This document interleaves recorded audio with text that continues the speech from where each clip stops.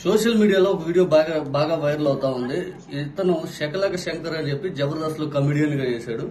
ఈయన తర్వాత ఏదో రెండు మూడు సినిమాలు కూడా తీసినట్టున్నాడు. కానీ ఇతను రెండు వేల పంతొమ్మిది ముందు కూడా పవన్ కళ్యాణ్ గారికి ప్రచారం చేశాడు. పవన్ కళ్యాణ్ గారికి ఒక రకంగా వీరాభిమాని. పవన్ కళ్యాణ్ గారు అధికారంలో రావాలని డబ్బులు ఖర్చు చేశాడు. పవన్ కళ్యాణ్ గారు అధికారంలో రావాలని చెప్పి రోజా గారిని టార్గెట్ చేశారు. రకరకాలుగా పనులు అయితే ఆయన గతంలో చేశారు. రెండు వేల పంతొమ్మిది ముందు ఒక వీడియో అయితే బాగా వైరల్ అయింది. అప్పట్లో మీకు గుర్తుందో లేదు. అదేం వీడియో అంటే చంద్రబాబు నాయుడు గారు పవన్ కళ్యాణ్ అంటారు నడవాలి జగన్మోహన్ రెడ్డి గారు అవసరమై జనసేనలు చేరాలి. ఇక ఈ దేశంలో ఎన్ని పార్టీలు ఉంటే అందరూ పవన్ కళ్యాణ్ గారిని ఏ అందరూ వెనకాల నడవాలి ఐదు అని చెప్పి అప్పుడు ఒక వీడియో బాగా వైరల్ అయ్యి మంచి కామెడీ టైమింగ్ తోటి పొలిటికల్ కూడా మంచి కమెడియన్లా మారాడు.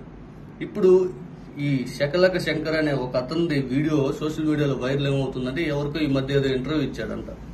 ఇంటర్వ్యూ ఇస్తే దాంట్లో ఈ శకలక శంకర్ మొన్న ఎలక్షన్లో మూడు లక్షల వరకు ఖర్చు పెట్టాడంట. తర్వాత ఈ ప్రచారం చుట్టూ తిరుగుతున్న మూడు లక్షలు ఖర్చు అయితే అతని జేబులో డబ్బులు కూడా లేకపోతే ఒక వెయ్యి రూపాయలు వాళ్ళ ఫ్రెండ్ దగ్గర అప్పు తీసుకొని డీజిల్ కొట్టించుకొని కార్కి వాళ్ళ సొంత ఊరు వెళ్ళాడంట. వాళ్ళ సొంత ఊరు వెళ్తే వాళ్ళ భార్య కూడా ఏదో బాధపడిందంట.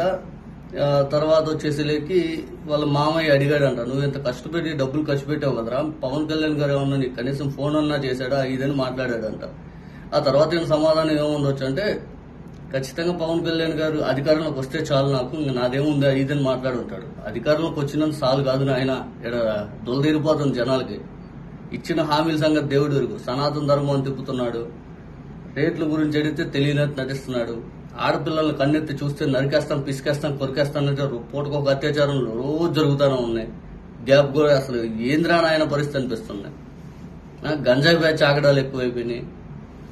ఈ రాష్ట్రంలో పూర్తిగా విశాఖపట్నం స్టీల్ ప్లాంట్ అనేది ఆంధ్రుల హక్కు ఐదు అని చెప్పి గతంలో మాట్లాడాడు. ఆనాడు సెంటిమెంట్ రైజ్ చేశాడు. ఈ రోజు అసలు ఆంధ్రుల హక్కు విశాఖపట్నం హక్కు అనే మాట కూడా ఎత్తట్ల. ఎందుకు ప్రైవేటైజేషన్ అవుతుందో దాన్ని అడ్డుకోవాలన్న ఆలోచన కనబట్ల పోలవరం ప్రాజెక్టుకి ఎంతవరకు ముందుకు వచ్చిందని దాని గురించి మాట్లాడు అసలు పవన్ కళ్యాణ్ గారి స్థితిగతులు జనసేన వాళ్ళు ఎక్స్పెక్టేషన్ అంత అయితే లేదు.